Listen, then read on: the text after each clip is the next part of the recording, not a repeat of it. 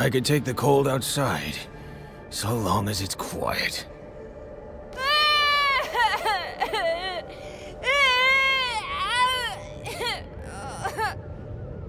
Never have children.